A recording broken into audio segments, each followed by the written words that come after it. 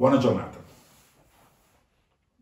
Voglio tornare sul recente legge 126 del 13 ottobre che ha convertito il decreto legge di agosto e che prevede molte disposizioni in materia di rapporto di lavoro. In modo particolare intendo oggi concentrarmi su una disposizione che è stata introdotta proprio in occasione della conversione in legge. Sto parlando dell'articolo 21 bis del testo legislativo. Ebbene, consente a tutti i lavoratori dipendenti di poter chiedere di svolgere il lavoro agile nel periodo in cui i propri figli, il proprio figlio o figli, siano in quarantena per motivi di esigenze di natura sanitaria. Sappiamo cos'è il lavoro agile, cioè il lavoro agile è la possibilità da parte del lavoratore di collegarsi da remoto con un server aziendale e poter svolgere la propria attività lavorativa con collegamento appunto tramite computer e quindi svolgendo normalmente la propria attività senza doversi fisicamente recare presso la sede dell'azienda.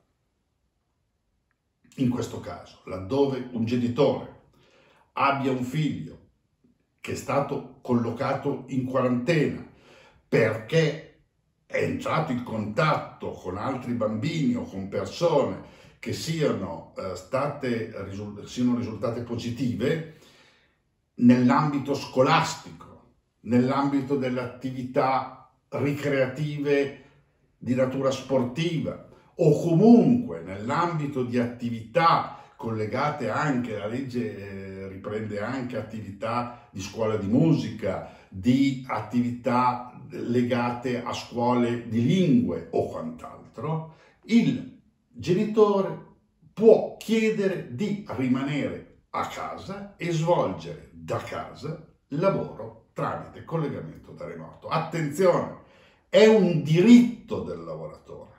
Quindi il lavoratore può chiedere e pretendere il datore di lavoro non può rifiutarsi, laddove è possibile, il collegamento da remoto, di consentire il collegamento appunto lo svolgimento di lavoro con modalità agile.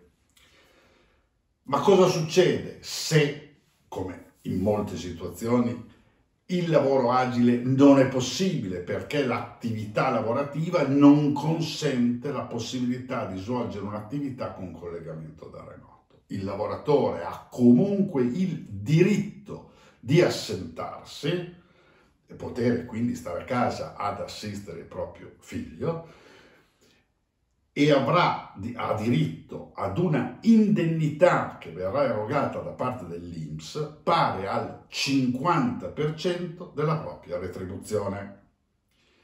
Attenzione, vale la pena di ricordare comunque che questi periodi, queste settimane che eventualmente uno sta a casa, il lavoratore otterrà da parte dell'INPS il riconoscimento della contribuzione previdenziale piena.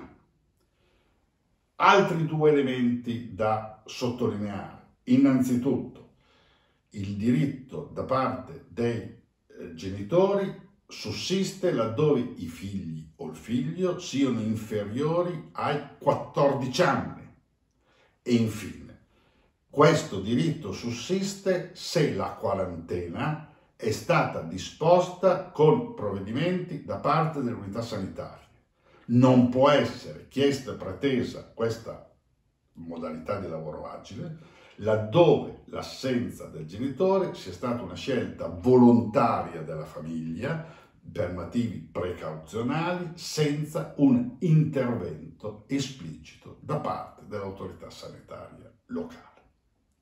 Torneremo ancora su questo complesso eh, articolato di legge perché prevede molti aspetti legati al rapporto di lavoro e per ora vi auguro buona serata. Grazie.